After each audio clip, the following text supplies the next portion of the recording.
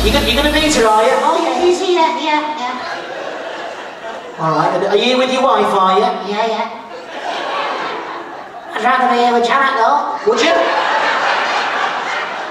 Well, she'd probably take you, to be fair. She doesn't know where she is.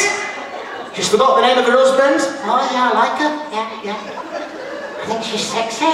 Oh, yeah, sexy. Everything I so sexy. Well, I tell you what, you've got the girls on your side tonight, haven't you? Oh, yeah, I like girls, yeah. Now, do you, do you like dancing? Yeah, no, yeah. I love dancing. It's my favourite thing to do. I got the crotch grab. The what? The crotch grab. The crotch grab? Don't be, don't be grabbing my crotch. It's not that kind of night. Show me the crotch grab then. And get some of that celebrity endorsed underwear. Do you know the stuff I mean? Kylie Minogue's doing it. The Kardashians are doing it. Jennifer Lopez, oh, she's got her own range. I was a bit skint, I must admit. I bought her some Meat Loaf knickers, everyone. And she put them on, and on the front it said, I will do anything for love.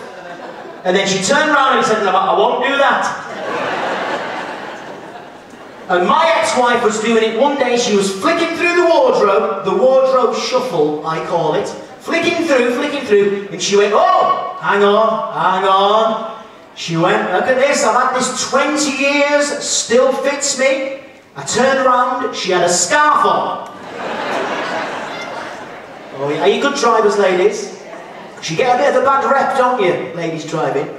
Well, again, my wife was a bit of a nightmare. She went into the Volkswagen showroom in Leeds and she walked through to the reception desk and she said, Excuse me, sir, I'd like to speak to somebody about the white Volkswagen Polo in the window. And the guy said, uh, he said, well, there isn't one in the window. She said, there is now. She came in one day with the car keys in her hand and uh, she went, the car won't start. I said, oh, God, give, give us it here, give us it here. What's wrong with it? She said, there's water in the carburettor, I think. I said, listen, you are no mechanic, you know Jeremy Clarkson. I said, what's wrong with it? She went, it won't start, there's water in the carburettor. I said, give me the keys here. I said, where's the car? She said, it's in the river. Right, come on.